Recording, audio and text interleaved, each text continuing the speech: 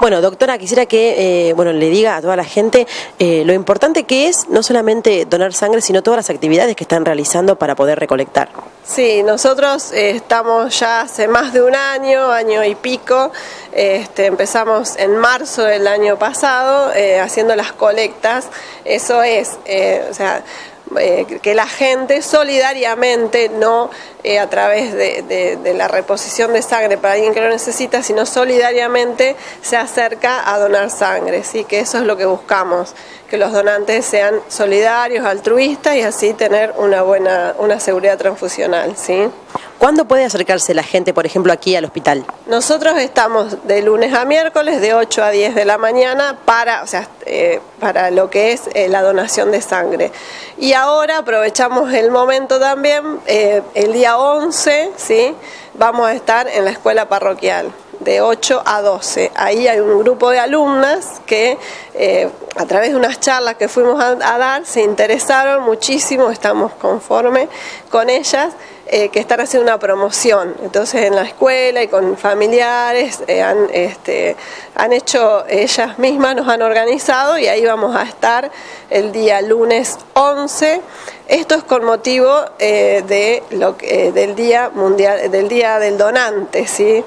Porque el día 9 es el día del donante. Entonces, toda la semana vamos a hacer promoción.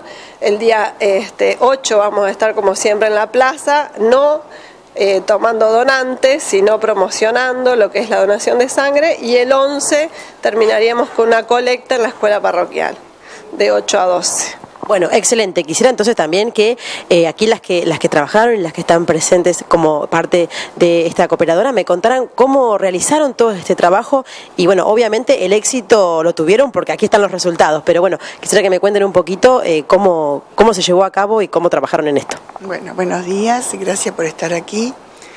Bueno, el, resultado de la compra de, de esta centrífuga de mesa se hizo con el aporte que hacen los pacientes cuando colaboran con los bonos que se ofrecen en las distintas áreas del hospital, como también de la rifa que está en circulación y que este sábado fue el primer sorteo mensual y cuya poseedora fue la doctora Dalma Quevedo.